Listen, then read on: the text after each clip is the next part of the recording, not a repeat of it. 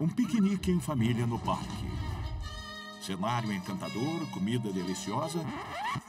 Mas tem um bicho chato que estraga a festa. Não importa o quanto você tente, a mosca quase sempre foge. Por que é tão difícil acertar uma mosca?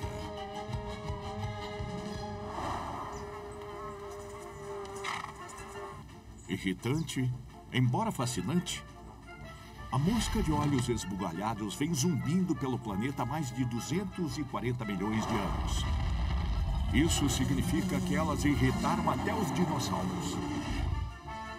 A sobrevivência delas por tanto tempo é resultado da brilhante habilidade de escapar de ser pega e esmagada.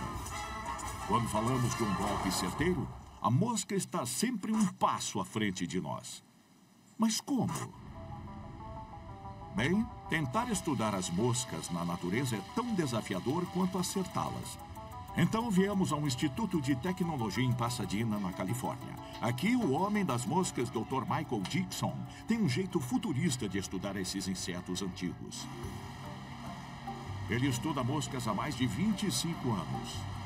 Eu acho as moscas muito, muito fascinantes. Não são como nós. É quase como poder estudar um ser de um planeta distante. Existem mais de 150 mil tipos de moscas. Mas Mike trabalha principalmente com uma espécie, a mosca das frutas. E ele as cria desde os ovos. Leva por volta de 10 dias para ir de ovo até a fase adulta, então estão prontas para os nossos experimentos. Preparar um inseto que tem somente 3 milímetros é um trabalho delicado. Então Mike primeiro cede a elas e depois pega a maior, que no mundo dessas moscas são as fêmeas. Aí ele gruda um alfinete nela usando uma cola especial que dissolverá depois sem machucar a mosca. Pego ela com cuidado. E aí está pronta para a arena de voo.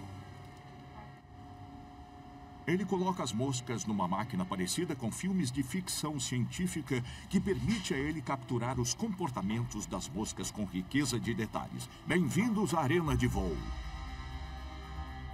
Esse é um aparelho personalizado, mas é basicamente um jeito de deixar as moscas jogarem um pouco de videogame.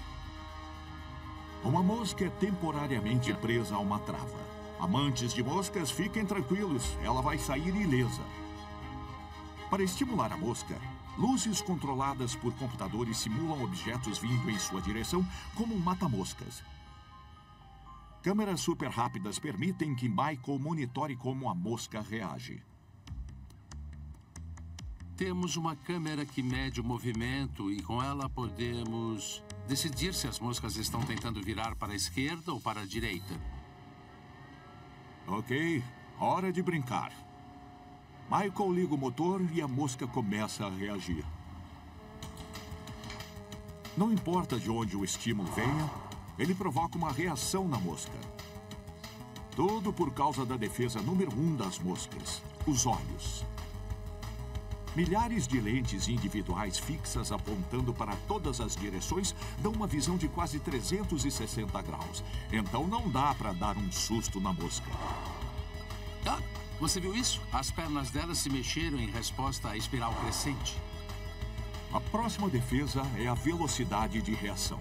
Nesse caso, ao mexer as pernas, a mosca pode mudar a direção do voo. Essas luzes viram para a direita. Essa mosca está respondendo muito rapidamente ao objeto vindo em sua direção. O teste de Michael revela que as moscas têm uma velocidade de reação quase sobrenatural de 100 milissegundos, um quarto do tempo que um humano leva para piscar.